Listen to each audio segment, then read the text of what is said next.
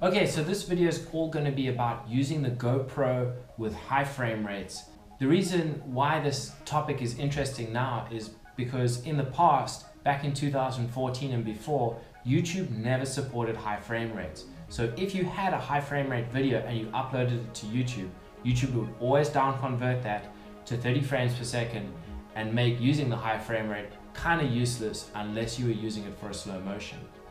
But now YouTube has support for higher frame rates, 48 frames per second, all the way up to 60 frames per second. So now it becomes an attractive option because our GoPro cameras support this and it's supported on YouTube. So high frame rates is something that's that I've been playing around with for the last two months and uh, I've learned the hard way. I've made a number of mistakes. I've ruined a few videos. One of my videos I'm going to upload soon has kind of been ruined by the high frame rate thing. But I think I've mastered all the pros and cons. So I'm going to tell you what to do so you know when to use high frame rates, what to look out for so you don't mess up your videos. This video that you're watching now, this is a high frame rate video. So please, in the video below, select 1080p at 48 frames per second before we continue. Alright, once you've done that, let's get started.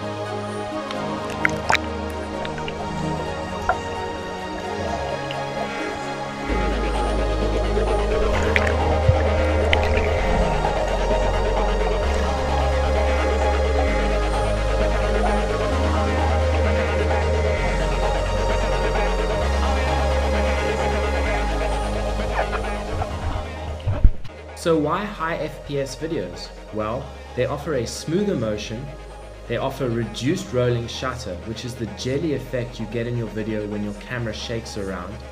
You get a crisp image during action shots and scenes of high movement. You get reduced motion blur, and as a result, you get a video which has a hyper-realistic feel to it. The disadvantages of high frame rates is that they fare very poorly in low light conditions. So here I've got some low light examples taken in all the frame rates that the GoPro camera has. So if we look first here at the 24 frames per second, we can see that the right hand side of the frame is much more developed. As we shift to 30 frames per second, it's still pretty well developed but it's slightly darker. 48 frames per second, significantly darker. And at 60 frames per second, we're left with a very, very dark image. Let's just compare 24 frames per second to 60 frames per second to see the difference.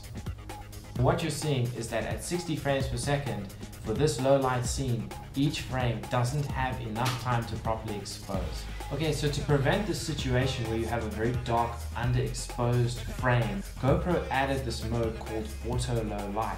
Now what that'll do is it will immediately drop the frame rate so if you're at 48 frames per second, it'll drop the frame rate down to 24 frames per second in order to try get that extra exposure to keep the correct amount of lighting in the scene. Now while that might, might sound good in theory, in practice I found it to be quite a pain and I'm going to show you why in this video here. This video is shot at 48 frames per second with auto low light on. When I'm at the surface of the video, the video is recording in 48 frames per second. But as soon as I get down to about 10 meters,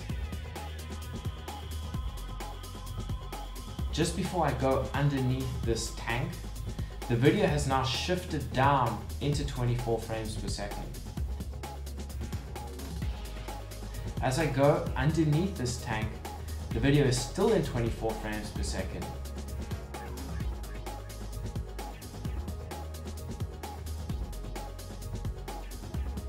But when I come out from underneath it, the video is, even though it's got more light, it is still in 24 frames per second. And the only time it kicks back up to 48 frames per second is when I'm already on the surface. So three quarters of my video were all shot in 24 frames per second, which is not what I wanted.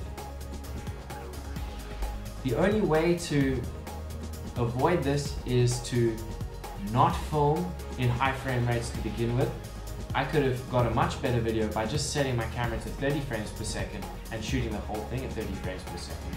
Or I could have shot the whole thing at 48 frames per second with the auto low light off and just had to deal with that very dark scene under the tank. So here are some more scenes.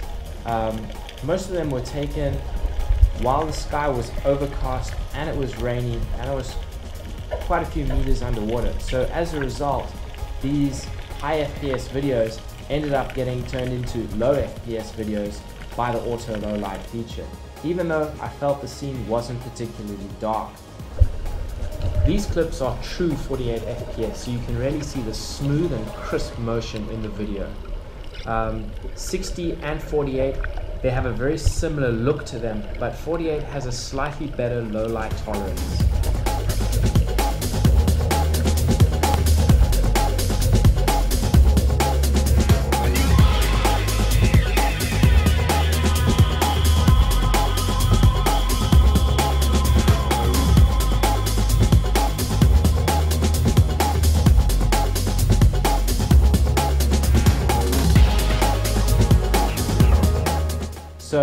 The take home message that I want to give you guys is watch out for the low light feature.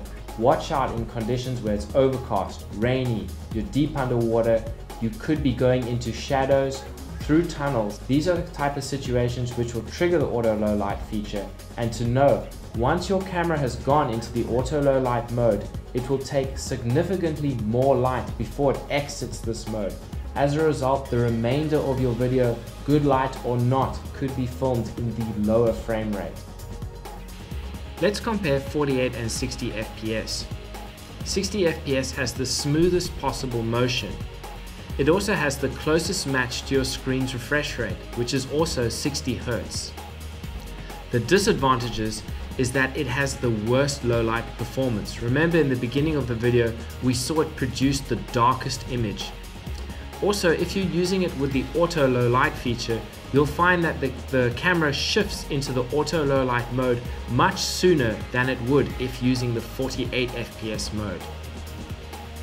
If we look at 48 FPS, 48 FPS offers slightly better low light than 60 FPS, but if you're using the auto low light mode and it shifts down to 24 FPS, you'll find that this is too blurry to be useful for action videos. As a result, if you're using 48 FPS, I suggest you turn the auto low light off completely. If I know I'm going to have tricky lighting, I'm going to have light and dark areas, I'm going to stick to the standard 30 frames per second. If I know for sure that I've got good lighting, minimal shadows, etc., I will use the 48 frames per second with the auto low light turned off. My preference is to use the 48 frames per second. It still has the smooth motion of 60 frames per second, but it's got a slightly better low light tolerance. Alright, that's it for me and uh, you guys can let me know about your experiences with high frame rates in the comments below. And uh, for my subscribers, I will see you guys in the next video. Bye bye.